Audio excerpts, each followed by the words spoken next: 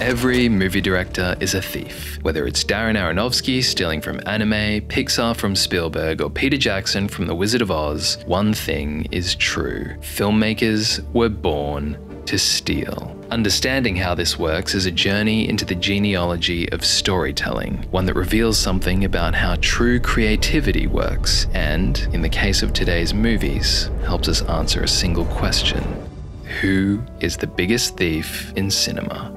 From the very first days of cinema, its creators were thieves. Despite the endless possibilities afforded to them by the new format, directors like the Lumiere brothers and Georges Méliès copied the staging of magic shows and plays. This, coupled with the gigantically heavy early cameras and lack of modern grip gear like dollies and steadicams, is the reason why so many early films looked like enlarged shoebox dioramas. In every subsequent phase of cinema, directors built on the foundations laid before them, because true originality, creating something entirely new, is impossible. Anyone who's ever made a movie, wrote a book, painted a painting, or built a startup is likely to have discovered this for themselves.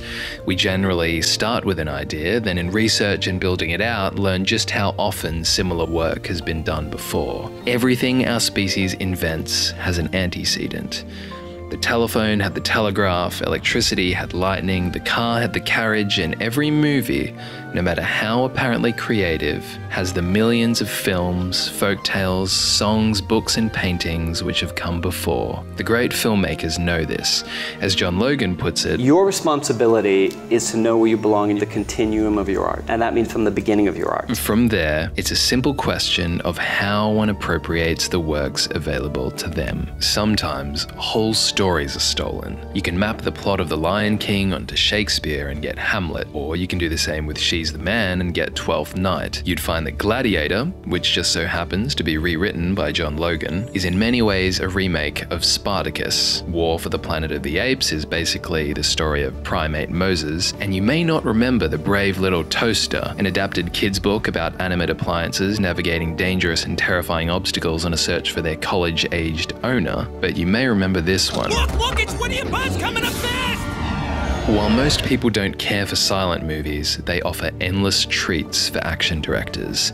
Buster Keaton's The General, for instance, is quite possibly more ripped off than any action movie ever made. And because the source material is old, filmmakers feel no shame sharing their references. The grandfather of the action sequence is, is Buster Keaton in The General. We steal from silent cinema because it's the heart of what movies are, what separates them from plays, and what wrote the visual language we understand today. A language of not only sequences, but also individual images repeated generation to generation. You can find the letterboxed eye lighting David Lean made famous in Dr. Zhivago copied everywhere, from Bond to Inglourious Basterds to Harry Potter. In the early to mid 20th century, the monster movie grew, with filmmakers like Jack Arnold, Ray Harryhausen, Ishiro Honda, and the co directors of King Kong giving us creature effects that set a standard for modern cinema. And because today's directors know the gold mine they're sitting on, they plunder it with the means of production at their disposal. Then they refine it, design it, and mold from it Oscars. Then there are the thieves of style. The same shoebox format, which once exhibited a medium in its early adolescence, is now famously used by directors like Wes Anderson for stylistic effect. And there are those who, on the opposite end of the spectrum, won't use a shot without some kind of Z axis camera move. They take kinetics pioneered by filmmakers like Spielberg and turn them into whole two hour long dances of bombastic action. Action which contains no shortage of stolen sound.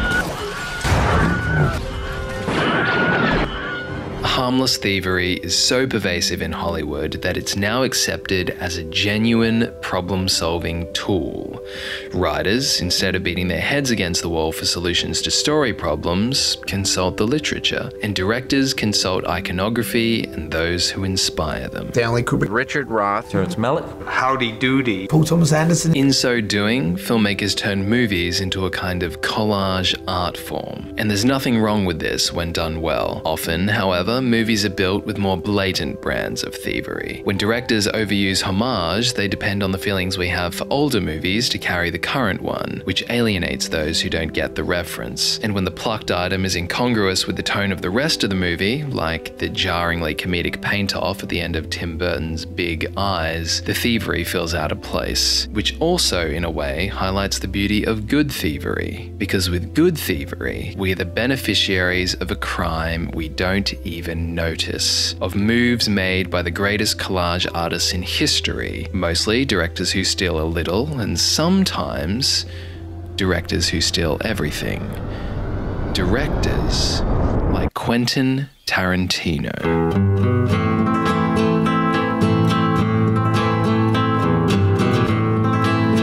While Tarantino doesn't pilfer whole plots, his movies are built on traditional archetypes. There's the Japanese revenge quest in Kill Bill, Django saves the princess from the castle, Reservoir Dogs blends trust no one noir with action and a whodunit, and The Hateful Eight is a Shakespeare play. For that film, Tarantino so loved the spaghetti westerns that he hired their greatest composer. Much like the cowboy who seeks peace but is called to join a violent cause, Ennio Morricone came out of retirement for The Hateful Eight, producing, under Tarantino, a score dripping with its own suspense.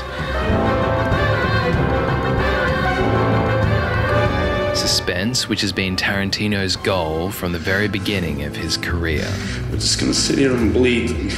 After Sergio Leone, with his quickening close ups, brought the Mexican standoff trope fame, Tarantino, in only his second feature, plucked the device and infused it with his own brand of fun, operatic violence. And from then on, almost every Tarantino movie contains a standoff of some kind. Sometimes it's physical, but more often than not, it's verbal, with a threat of violence in every word. Tarantino thinks of this tension like a rubber band.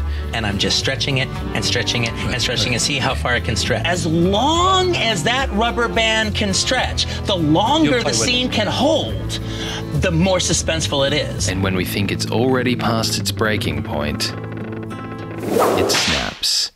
And from then on, in the words of Cormac McCarthy, writer of two of the greatest westerns of all time, the violence is general.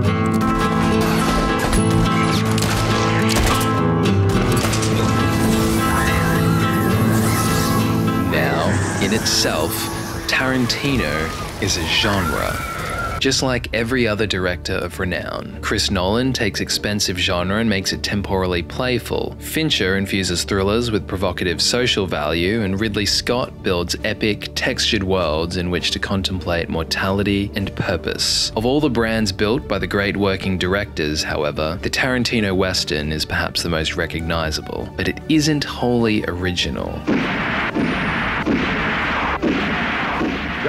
It is a variation on all westerns which have come before it, a leaf on a grand tree which has genres for branches and roots which descend all the way to the first human stories, all the way to these cave paintings which range from 4,000 to 40,000 years old. The first westerns whose badlands bore animals and hunters on plains of destiny, drawn repeatedly, as if in movement, as if in movies. Movies that became myths of heroes, journeys home, and the battle for home, then folk tales and chivalric romances, Arthurian legends, Robin Hood, and knights of valor and violence. Violence which travelled to the frontiers of literature in the late 18th and 19th centuries, birthing the genre of Western novels. New tools like thaumatropes, phenakistoscopes, zoetropes, praxinoscopes, and chronographs eventually led to silent films like The Great Train Robbery, which brought the Western genre to cinema, where it peaked in the 60s. After that time, metaphors of no man's land would not be as relevant to modern life as they were to the contested American West, and art increasingly looked within the walls of the city. It wasn't until our century that filmmakers retook the reins of the Western and on it toured timeless ideas of love, greed, fear, forbidden desire, and will and Tarantino, who finally makes his entrance after tens of thousands of years, restores the gunslinging fun. Stealing from the past to do his thing in the present, making him one of the most successful thieves in Hollywood. But does that make him the greatest thief in cinema? Directors have come and gone, and there have been great ones, but none made it out alive. What survive are their works, works destined to be remixed and ripped off and plundered again and again in the name of the new. So, the greatest thief in cinema is you because you and I have the entire library of Alexandria at our fingertips. And not only do we have what the Tarantinos had, we also have the Tarantinos.